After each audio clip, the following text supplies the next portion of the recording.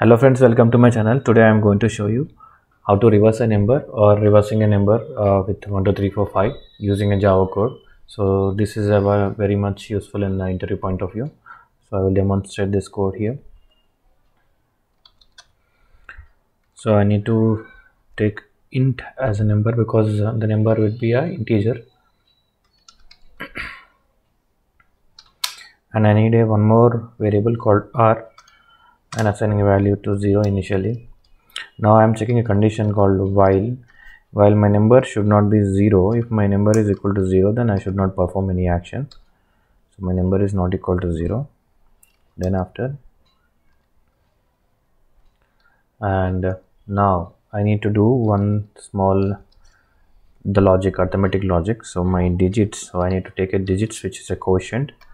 So from the number number i am number multiple dividing with 10 this will take a coefficient value and store it in the digits.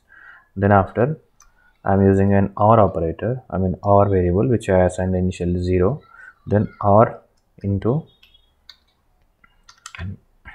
so i am doing uh, divide by 10 and also i am doing the multiply by 10 because to reverse number this is a very much used uh, logic. So by this we will achieve the reversing of a number then after I need to add digits here.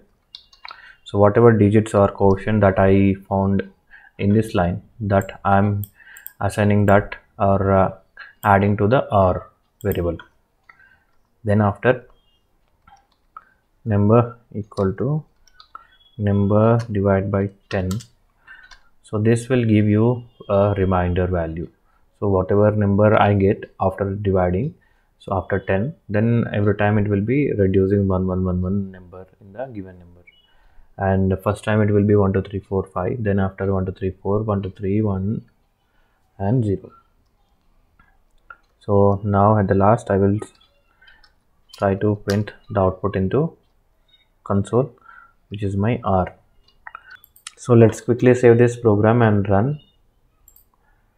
Now you can see the output will be 54321 so if I change this number to some 67890 and again save and run we'll still see the reversing of a number.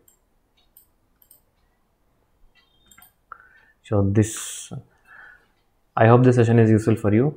In case if you are new to my channel please do subscribe to my channel and uh, do stay tuned for more uh, interview questions. Thank you